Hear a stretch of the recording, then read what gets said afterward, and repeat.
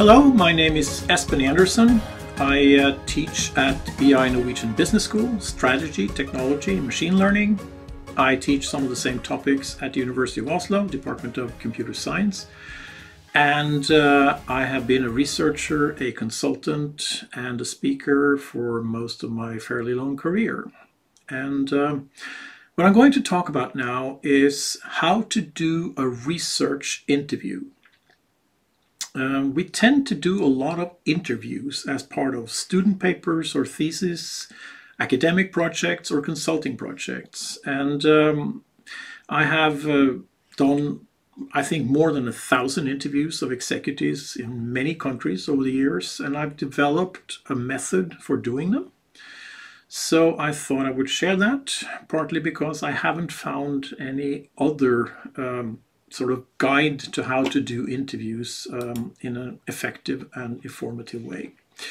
Now, be aware that um, what I've been doing mostly is interviewing fairly senior executives about topics like technology and business and strategy and how things work. Um, and this way of doing interviews, I think, work, works well.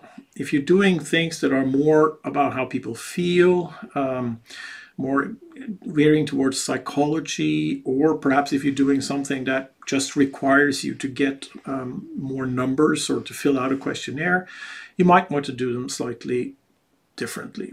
But um, this is this is the way I do them, and I'll get into the details. But uh, the main point of doing an interview for for me is to think of it as an informed conversation with somebody you have respect for who is knowledgeable about what they're talking about, and you are trying to pick their brains on, um, you know, figuring out how something works, whether you know a company should do this or that, um, you know, sort of how how do they do things in their company, trying to get data, uh, but remember to treat the other person as somebody who is your equal uh, in in both directions. And the way I like to think of these things is that the interview should be should not be seen as a burden on the other person. Um, it should be an interesting conversation, and we should both learn something from it. All right, let's get started. Let's get into the practicals. The practicals begin um, before the interview has begun. You have to do a lot of preparation. Um, one of the first things you need to do is to book the interview. And um, booking interviews with busy executives can be quite trying, especially um, in countries where um, there is a high degree of hierarchy. You have to go through secretaries and things like that. So um, when you say you're going to do interviews within a certain time frame, for instance, a two-week time frame, you should probably start scheduling at least two weeks in advance. So set aside enough time, otherwise you'll be very delayed towards the end. Secondly, I don't think you should do more than three interviews per day. Um, you having an interview, a deep conversation with somebody is quite trying mentally, um, and you need. That's another point. Schedule one hour for the interview and one hour for writing up the interview notes afterwards. So every interview will take a two hour slot. I find it tiring to do more than two a day. Um, I do three um, occasionally, um, never more than that simply because I get too tired. I start forgetting what people said. I start forgetting if whether I asked this question in this interview or not. So I think a maximum of three interviews per day. Um, then you have to ask yourself, am I going to do this interview in person, face to face? Um, am I going to do it over video conference or am I going to do it um, over uh, a telephone? And uh, it depends on what you're looking for. My personal preference, uh, at least if I'm interviewing a number of people for a project, is to do them over the telephone. And that's simply because then I can be a very efficient note-taking machine while I have people on the telephone. Um, I use a headset of some sort um, when I am um, in, in uh, doing the interview. Um, and um, then I can type away on my keyboard or take notes on paper um, and be very efficient about it. I think you should only do face-to-face or video interviews if they actually add something. Um, if you want to study facial expressions or something like that, that's not really my case, but you know, or if you maybe you want to see where people are in an organization or they're going to show you some production facilities, then it's more like a company visit than actually doing an interview. Um, the other one is if you if you need to have a shared space where you can, for instance, make some drawings or show some diagrams and discuss them, then a video conference is much much better. But generally, I prefer to have just the voice of the person in the other room, in, on on the other end. A second question you need to think about is um, should you record or not? Um, you know, you can ask permission of people, of course, to record um, uh, what they're saying. Um, I prefer not to, and there are a number of reasons for that. Um, when I did my um, doctoral thesis, I recorded a lot of interviews, and I spent a really long time typing them up. And I found that this yielded lots and lots of papers of not very informative material. So I don't think, I, I prefer not to record. The other reason for using a recording is that you know you can use it just for support. So you record what they're saying, um, you take notes, you write out your notes, and then if there's something you miss or you want a quote just right, um, then you can go to the tape to or the well not tape these days, but you know to the recording, and and um, and use that. Um, in general, I don't like that much either because recording some will spook some people. Some people don't like to be recorded. Most of them who say, you know, yeah, okay, and then they forget that they're being recorded after a while, so that's not a problem. But in general, I have found that these recordings are just an extra bother. Um, if you're looking for a sharp quote, write it up, send it to people, and say, I think I heard you say this. Is this correct? Okay, um, so so you you you know you can interact with people even after you interview them. So and we'll get to that. So. In general, I don't like to do recording, but I realize if you are not that stiff in English, if you are not very experienced as an interviewer, um, you may want to rely on a recording. Always ask permission though. Then you need to get the technology right. Um, when you are on the phone uh, speaking to somebody, good sound is essential. And you also need to have your hands free to take notes. Um, so a good headset is uh, important and uh, you, you may actually want to spend some money here. Um, here is one version which is used by telemarketers. Um, you can use AirPods, uh, those little things you stick in your ear. Uh, my personal preference is actually um, a headset like, like this one um, because it shuts out the sound from outside. It's noise cancelling um, and the sound is very good and the battery life is good. They're expensive, but I think they're absolutely worth it. So sound is extremely important. Then you have to make a, decision on how you're going to, to make to take the notes. Uh, are you going to do them with handwriting or are you going to do them um, on a keyboard? And that's a personal preference. But in general, I think if you're doing a face to face interview, it's better to do handwritten notes because it, it looks less threatening when you're sitting across from a person if you just write um, um, when you take down your notes. Um, when I'm on the telephone or in video conferences, I will use um, a keyboard. Um, I do touch type, however, and I write quite fast. If you don't do that and you have to look at the keyboard all the time, you should probably go with handwriting as well, but that's up to you. So both are, are permissible. Um, now, very, very important, you should get a good keyboard and it should be a quiet one. Um, I use a Mac and I use a, a Mac keyboard that looks like this, uh, and it's, it's, it's very, very quiet. You don't hear much. Um, you might hear a little bit on uh, depends on how insulated your microphone is but having a headset like this helps. Whatever you do uh, don't get a keyboard that has a lot of clackety clack noises like this one um, because uh, that will just be extremely um, disruptive to the whole interview. So make sure you got the technology right also, you need to uh, make sure you have no disturbances. So turn your cell phone uh, to um, be quiet and put it on something soft. So if it starts vibrating, um, you it doesn't reverb through the room. So these are things you just need to get um, in there. Also, if you're sitting in an office, put a sign on the door saying "Do not disturb." When you get into the flow in an interview, you don't want to be um, interrupted. Also, you need to decide, are you going to do the interview as one person talking to another, or are you going to be more than one person? Um, if you are, you have to be very explicit upfront about what the roles are for the people interviewing. And in general, if you're two people, uh, you should divide it up so that one person is the primary note taker and the other one is the primary speaker. Uh, the one, so because it's easier for a, an interview person, an interviewee, to to talk to one person. Um, and I think of yourself a little bit like commentators at a sports game. There's one person talking, and then there's another one that's kind of assisting. It's called a color commentator, um, and uh, but also taking notes. So, for by all means, both people doing the interview, or even if, if you're three, everybody should take notes. Uh, but naturally, the person speaking will not take as many notes as the person who's just sitting there. Think about that beforehand.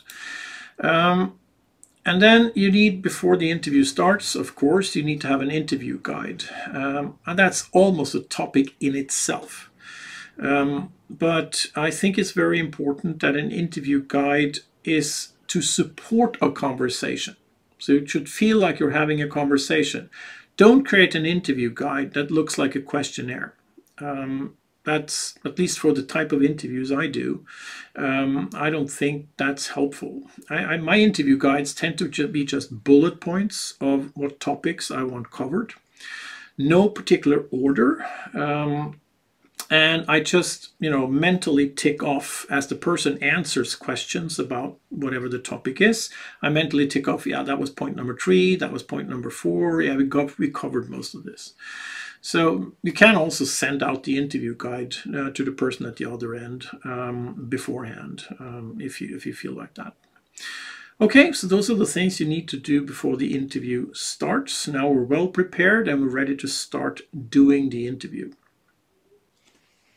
So now we're ready to start the interview. We're calling the other person and we get him on the line. We get him on a video conference or we're showing up in their workspace, their office, and we're ready to start. Um, you should always bracket interviews with an introduction, there's a middle section, there's an ending. You need to think cautiously about that, consciously about that.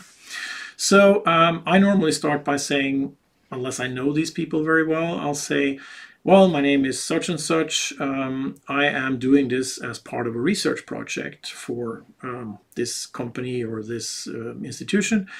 Um, and uh, what we're looking for here is to get your views and experiences on this topic.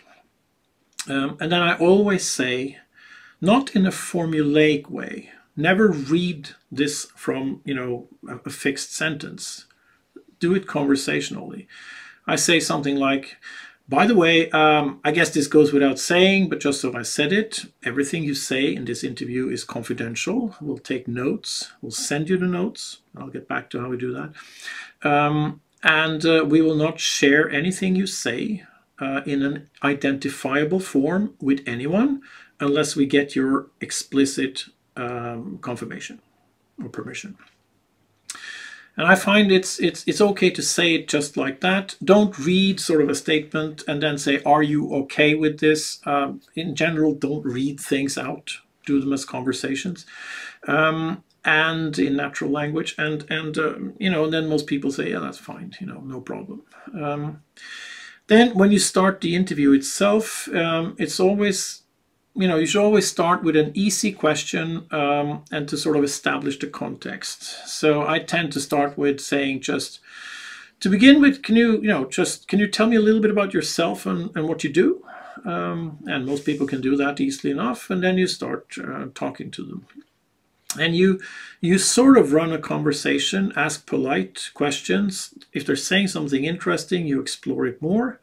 Um, one of the things I try to do early is to establish common ground.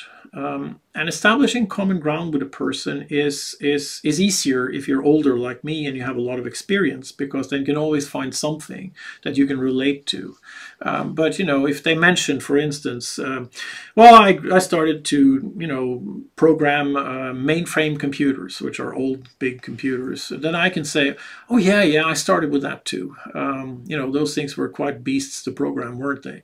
You know, and then you sort of establish that you know you're you're kind of like them. So you establish common ground. Um, I tend to interview a lot of people that are in technical jobs, and, and just showing that you know a little bit about technology it doesn't need to be much. Um, will tell them that this is a person that has some of the same basis of experience as, as, as, as I have, as, as they have, um, and they'll trust you more and be much uh, less guarded in what they're saying um, and, and enjoy the experience more.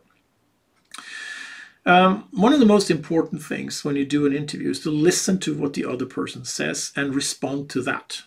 You know, you may have a list of stuff you want to go through, but the art of the interview is to go through that without showing that you actually have a list to go through. Um, it requires being, you know, somewhat careful about what you say. Sometimes people wander off topic and you just let them speak for a little bit and says, um, back to this issue of, you know, and then you start, you, you sort of steer them back again. Sometimes people have difficulties in understanding what or or expressing things in a sort of formal statement. And one of the things I find very helpful if they have trouble doing something is just say, um, can you give me an example of that just so I understand it? Um, and then they will tell you a story or give you an example of something specific. Like, yeah, we had this one customer who was doing this and that. And I say, oh, okay, yeah, I see. Okay, so you, you, you kind of probe for examples and, and explanations of things. By the way, if they use a term you don't understand, uh, they say, you know, some sort of internal term like, I don't know, DevOps, for instance, or... Uh, some specific financial management term, um, you know, ask right away. Oh, I'm sorry. I what was the term you were using?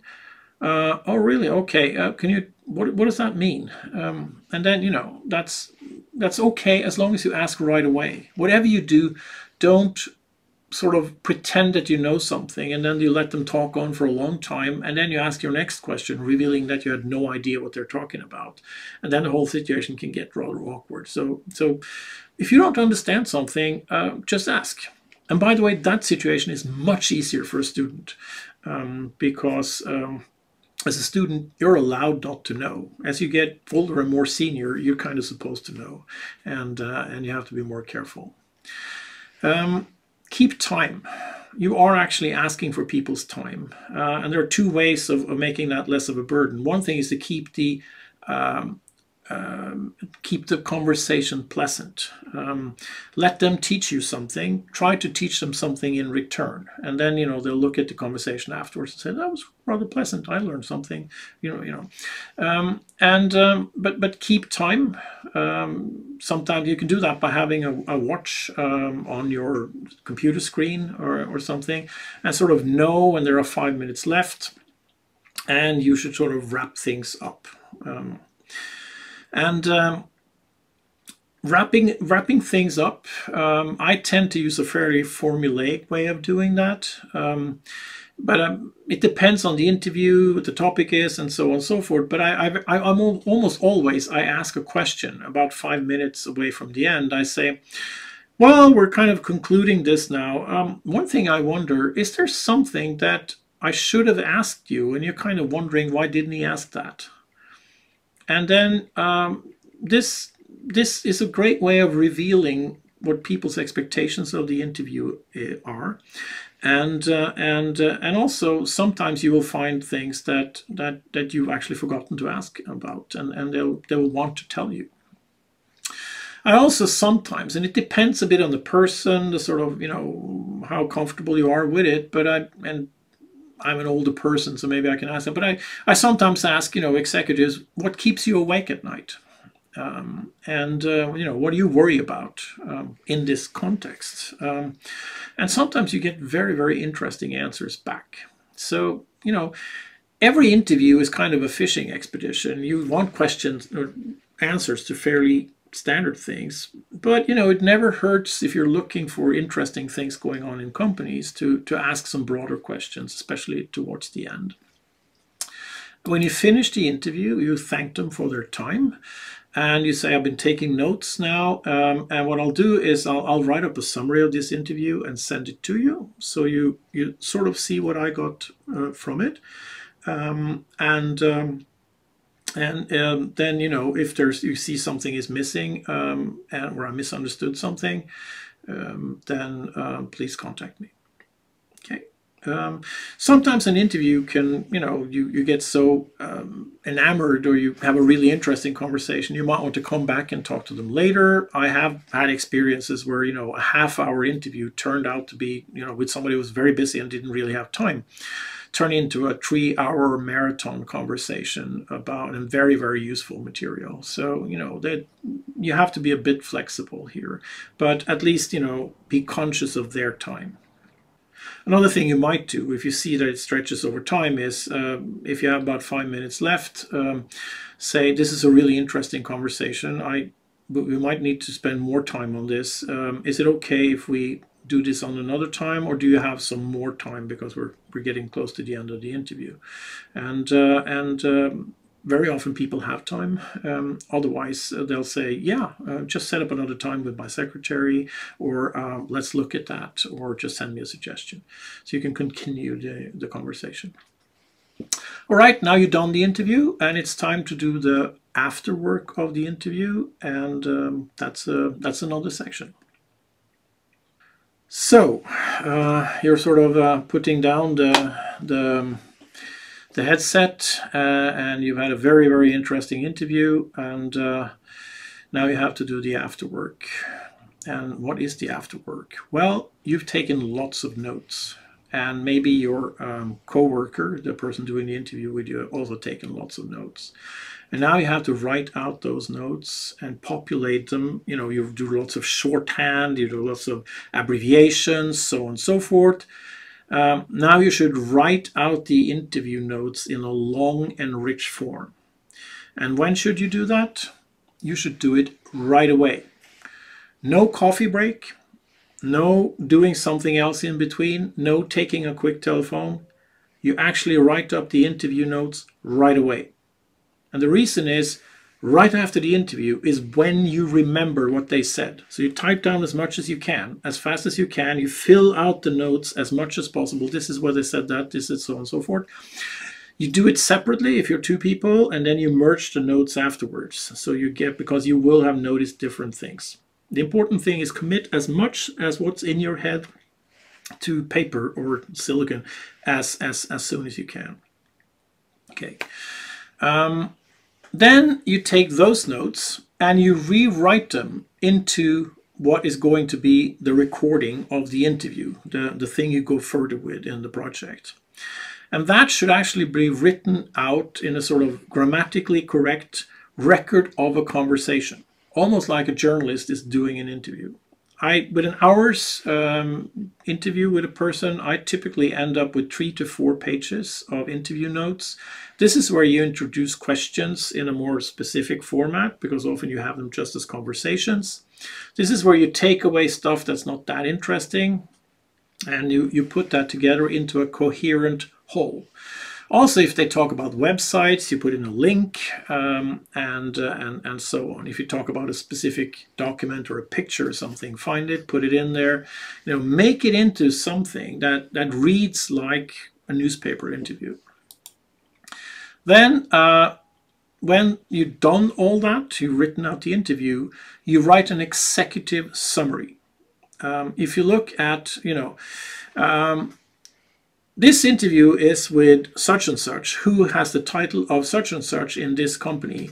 His primary concern in this uh, topic is about uh, how to do recruiting, and he's worrying that um, not being able to find the right people for this job um, is, is, is going to be the biggest obstacle for instance, you, you write sort of a, a little summary, one paragraph in italics, and you put that on top of the interview notes, almost like a newspaper article, um, where you write kind of a little abstract of what they said. And there are a number of reasons for what you why you do that. Um, First of all, you're going to mail those notes back to this person so they can look at them. Um, and, and doing that little summary forces you to think of what you got out of the interview. And it, it also makes it look like a newspaper interview to them, which is kind of pleasing to people who just spent an hour uh, doing it. Secondly, if you're doing a lot of interviews, if I do 20 interviews on a project and have to analyze them later, it's very hard for me to remember who said what and who some person was. Because after about five or six interviews, you start to lose track of that. So um, having this shorthand form of the interview um, in, on, on top, uh, so you can just look at it. If you have lots of um, Word files, for instance, on a computer, at least on my Mac, I can just look at the the, the files as I go down, I can hit the space bar, the first page comes up and it says it has this little summary uh, of what the interview is. Makes it easy to remember. Then uh, you make it a, into, all this into a nice complete document. You send it off to the interviewee straight away, asking for comments. That's what you do, you know, one hour for the interview, another hour for writing it up. At the end of that, you send off a polite email thanking them for their time. Here are my notes, nicely written up with the little abstract on top. And you say, um, if you have time, take a little look at this and, and see, did I, did I get uh, your meaning right? First of all, most interviewees are used to never hearing anything from researchers afterwards, or perhaps being sent an article, you know, half a year later, they've completely forgotten it. Sending them their interview notes, first of all, you know, you're going to send it to them, so it forces you to make them do them well. But also, it gives them a sense of achievement. Oh, this guy was really serious about what he's doing. He's actually doing a good job with this. Okay, I'll look through it. Oh, he's asking for more information. Didn't I have this analysis we did last year? I can send that to him. And you get lots of interesting material. They will discover errors that you found, and they will correct sentences where you're quoting them directly. So, you know, that shows respect for the person at the other end, and it will give you a lot of additional material, and it will make you look good. So next time you talk to them, you get interviews very, very easily. It's actually worth the effort, but you have to do it right after the interview is over. Then you need to put um, all this together in a way that you can refine the interviews. I tend to use fairly simple, um, you know, devices. I store them as files on my computer and so on and so forth. You need to, if you're doing things that are sort of needs to be GDPR'd, um, you need to adhere to the format. Um, how you do that? Perhaps by having them anonymized and then having a separate list of people's names. I'm not going to get that in, into that in too much detail, but you need to have things in a recognizable format where you can analyze it, start to do categorizations and whatever it is you do um, in order to go from having a bunch of very, very good interview data to delivering a really good research or consulting um, material. So with that, that's how you do a research interview. Uh, it is a fairly involved and exhausting process. I think it's by far the most interesting way of doing research, at least it is for me, because you learn so much and there are so many smart people out there that you can learn from every day. Thank you very much. I hope this was useful and uh, perhaps I'll interview you someday or one of you will interview me. Bye.